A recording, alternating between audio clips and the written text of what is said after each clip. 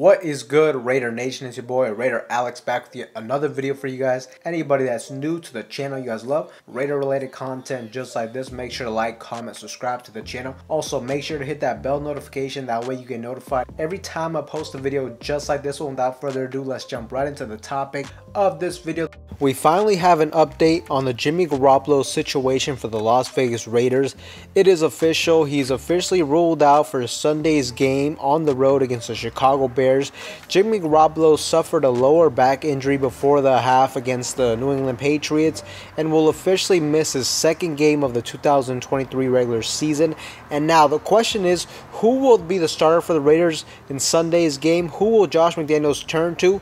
Now look, normally I would guess that McDaniels would stick with his guy, aka veteran Brian Hoyer, due to his just stubborn ways and just because he knows the offense more than rookie Aidan O'Connell at this point.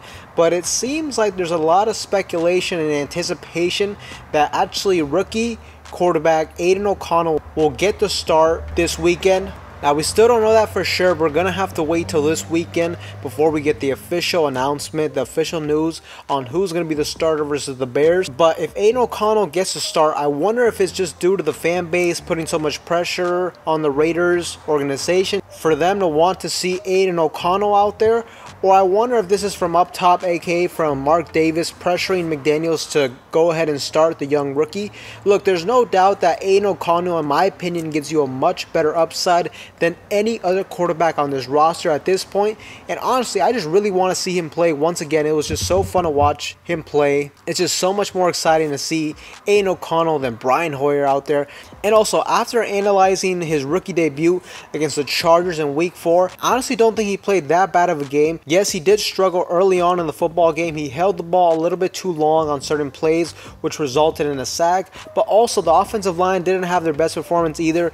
In total, they gave up six sacks to Khalil Mack. And McDaniels, too, I thought he could have done a better job preparing for the game just when it comes to his play calling because he was drawing up a lot of five, seven step drop back passes when I thought we should have utilized a quick passing game a little bit more, especially when our offensive line was struggling that bad. And when you had Khalil Mack balling out the way he was, you know, where was the quick screen game? Where was the quick dump off passes to the running backs, to the slot wide receivers, etc.? So I definitely think we should have utilized a quick passing game a little bit more in that one. But look, I thought too, Aidan O'Connell, he fought back and he started to look a lot better in the second half.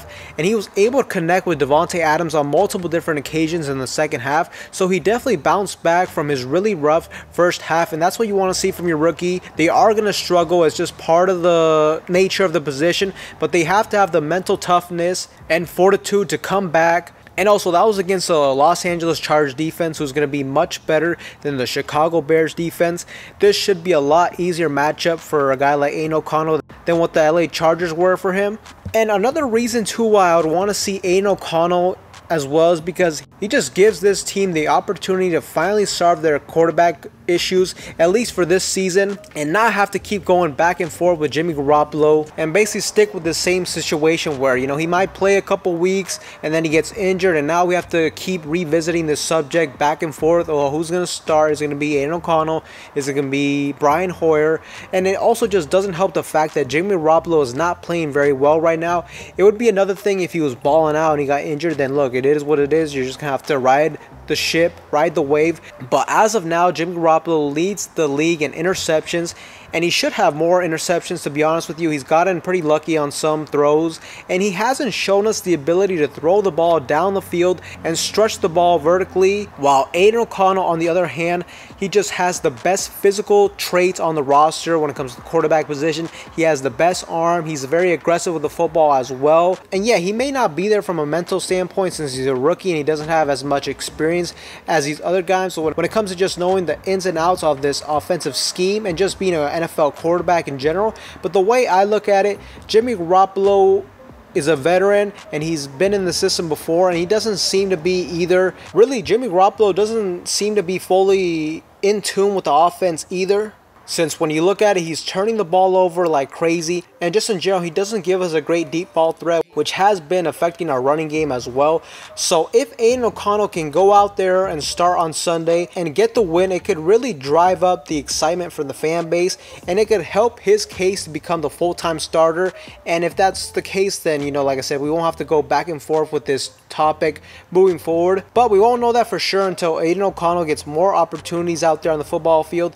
And Sunday will be a perfect opportunity for Aidan O'Connell to step up and make this a real quarterback competition for the Las Vegas Raiders because at this point we need the quarterback play to improve. If this offense wants to reach its full potential, if we want to take the next level, and in my opinion, if McDaniels ends up making Aidan O'Connell the full-time starter down the road and he starts showing some signs of being the future quarterback of this franchise, then this could really save his job even if the Raiders ended up missing the playoffs this season. So in my opinion, I think it's time to let Aidan O'Connell cook out there, let him start once again against the Bears, and hopefully the Raiders can get the victory. This would be huge for our team moving forward to go on a three-game winning streak at 4 and 3. And the way I look at it too, they're going to be going up against a backup quarterback. I think this defense will be able to hold the Bears to 17 points or less. So really, as long as our offense can get to around 20 points, we should be able to get the victory in my opinion. But Raider Nation, let me know what you guys think in the